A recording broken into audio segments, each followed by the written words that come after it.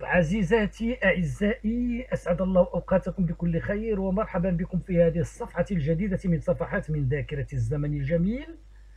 فيوم الخامس عشر من يناير كانون الثاني عام 1963 صدر العدد 598 من مجلة الكواكب تزين غلافه صورة الصحفية والممثلة المصرية نادية النقراشي.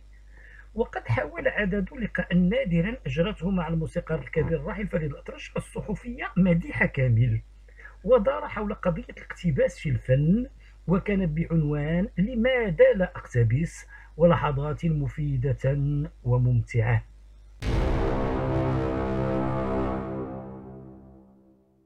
جاء في تقديم اللقاء موسيقانا بلا طعم بلا لون الموسيقى الهندية لها طابع والموسيقى السودانية لها طابع. كل موسيقى لها طابع إلا عندنا والسبب هو الاقتباس.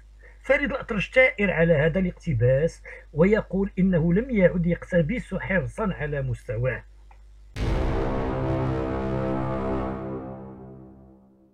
كتبت مديحة كامل قلت لنفسي وأنا أدق جرس الباب باب فريد الأطرش أسأله أولا أسئلة خفيفة تمهيدية ثم أتحول إلى غرضي الأساسي وأسأل جد. ولما دخلت أسلم عليه كان يجلس بالقرب منه حلم حليم وبينهما أوراق كثيرة يقرأان فيها. وأمام فريد عوده الشهير يمد حلمي يده فيلمس العود. فريد يقرأ كلمات أغنية جديدة. حلمي يقول آه حلوة دي غنيها كمان. ويغني فريد وحلمي يستحسن. أنا أسمع في انسجام. ويمسك حلمي بورقة أخرى. ويمسك فريد بالعود. وبين هذا وذاك سؤال إيه رأيك؟ حلوة النغمة دي. وأقول أيوة. ويسأل فريد عاوزة تسأليني حاجة؟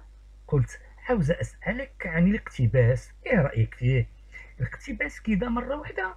على كل حال أنا رأيي معروف. فأنا أعتقد أن الاقتباس خيانة للوطن وللجمهور وللتراث الموسيقي عندنا. أصبحت موسيقانا لا طعم لها ولا لون وقد يغتفر الاقتباس إذا اعترف به فاعله ولكنه جريمة بغير ذلك. وأنا أفضل ألا نقتبس. والأفضل أن نخلق ألحانا جديدة مستوحاة من واقع حياتنا. ولكن الاقتباس ألا يساعد على تطوير موسيقانا؟ لا يا هانم. الاقتباس لا يساعد على تطوير موسيقانا بل يقتلها لأنه يقتل فينا المقدرة على الابتكار والخلق. نأخذ جملة من هنا وجملة من هناك ونقول عملنا الحن جديد مش معقول. ممكن تطوير موسيقانا من غير إدخال جمل تعب غيرنا في تلحينها وهي غريبة عن واقعنا فنصبح من غير طابع مستقل يميزنا. الموسيقى الهندية لها طابع والسودانية لها طابع وكل موسيقى لها طابع إلا عندنا. كانت لنا ألوان موسيقية شرقية جميلة فيها الكثير من تراثنا. استغلها بعض الغربيين ونظموا ألحانا تمثل يمثلنا ريمسكي كورساكوف مثلا وفيردي وسميا ألحانهما بأسماء شرقية مثل شهرزاد. أهو ده الطابع الشرقي اللي كان لازم نحتفظ به في موسيقانا ونطوره وهو طابع جميل له سحره قل الحق ألم تقتبس أنت أبدا؟ اقتبست طبعا. كان ذلك في مستهل حياتي. ولما كبرت وشعرت بالمسؤولية ابتعدت عنه فضلت أن أحتفظ بطعم الشرق في موسيقاي. خفت على مقدرتي أن تخبو من كثرة الاقتباس كما أنني أحترم جمهوري وأعتقد أنه جمهور مثقف يقرأ ويسمع الموسيقى ويفهم اللحن. ولو حاولت أن أخدعه كنت أخدع نفسي. وأثر هذه الاقتباسات في الخارج. عيب والله إننا نسيء إلى سمعة وطننا ونشوة موسيقانا وننقص من قيمة إنتاجنا فنفقد ثقة الجمهور ونصبح سخرية مع أن الأصالة الموسيقية متوفرة عندنا والحمد لله ولماذا إذا لم تظهر الأوبرا عندنا؟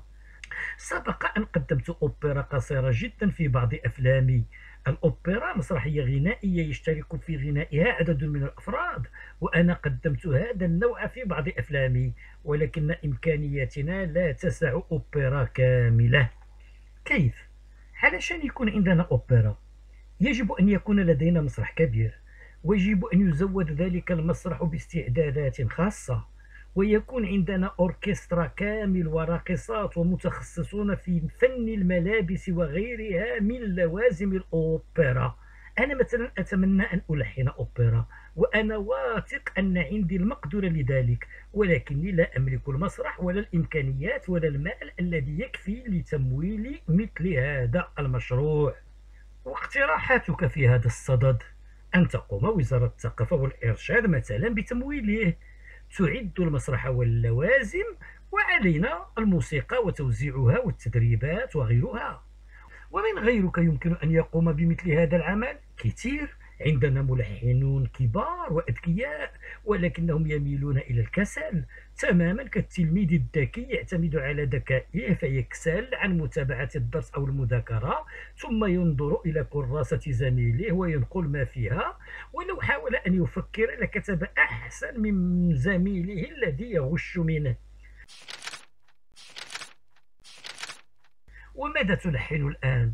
قصة غنائية تحكي حكاية طويلة. وهي عندي هنا مكتوبة في هذه الورقة. فيها فرح ولقاء وحياة فيها معاني مختلفة وتلحين مثل هذه القصة يحتاج إلى جهد كبير وأشكال مختلفة من التلحين تظهر مقدرة الملحن. وأيهما أبقى في نظرك الغناء أم التلحين؟ التلحين طبعا فهو الشيء الباقي بعد موت الملحن ولكن الغناء كالصدى. يظل فترة بعد موت المغني يتردد في الفضاء ثم يتلاشى شيئا فشيئا ويصبح كأن لم يكن.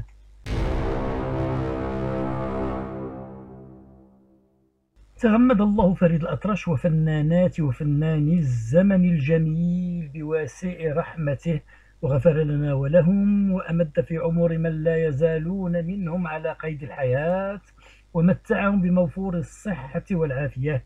وحتى لقاء آخر مع صفحة أخرى. تقبلوا تحيات أخيكم نعيم المامون.